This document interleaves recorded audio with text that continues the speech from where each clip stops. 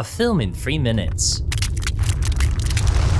Tremors. Welcome to Perfection, Nevada, where dreams come true. We've got everything a strapping young fella could need to start a new life. Great views, friendly neighbors, hell, we've even got ourselves a convenience store. And as for the wildlife, you can't beat our most beloved attraction. Giant killer graboids that are actually incredibly dangerous, utterly ruthless, and probably should be avoided at all costs. Oh, and best not make any vibrations from this point on, otherwise you might become their next target which is exactly what Kevin Bacon and Fred Ward have to contend with in Ron Underwood's superb 1990 horror comedy Tremors, a film that delights as much as it scares, features an excellent premise, a roster of quirky character actors, and set piece after set piece of low budget cinema charm. Originally titled Land Sharks, the story's development began when screenwriters S.S. Wilson and Brent Maddock were working for the US Navy shooting footage on a boulder in the California desert and then asking themselves the question, what if there was something that wouldn't let us off this rock? A the floor is lava type scenario that inspired both writers to approach friend and director Ron Underwood after the pair sold their first script, 1986's Short Circuit. Underwood, who had experience shooting documentaries for National Geographic, helped to redesign the subterraneous monsters to make them more realistic, turning them into the film's now iconic graboids, ancient giant worms designed by the special effects company Amalgamated Dynamics, founded by industry legends Stan Winston, Tom Woodruff Jr., and Alec Gillis, whose clever use of miniature models and advanced puppetry helped bring the menacing creatures to life and provide much of the film's slapstick comedy. Kevin Bacon, who only agreed to accept the role of down on his luck handyman Valentine McKee due to his then recent marriage and upcoming newborn child, suffered a nervous breakdown prior to the film's release, believing it was a career killer, a view that was strengthened due to Tremors' poor box office receipts. However, in the years since its theatrical release, Tremors would unearth newfound fans thanks to excellent sales on home video and DVD, eventually tripling its original box office gross and leading to seven sequels and counting, a television series and video games, which in turn has made Tremors Bacon's favourite film of his career, and the only one he rewatches with fans. Once you see it for yourself, you'll understand why, as it's nigh on impossible impossible not to find the cinematic terrain Tremors inhabits utterly charming, from its lovable supporting characters, clever setups and payoffs, animatronics, and at times beautiful cinematography, oh, and one of the best uses of a rec room ever shot on celluloid. Still don't believe me? Well then maybe you should pay a visit to Perfection and see for yourself. Just watch your step. The ground isn't all what it seems these days.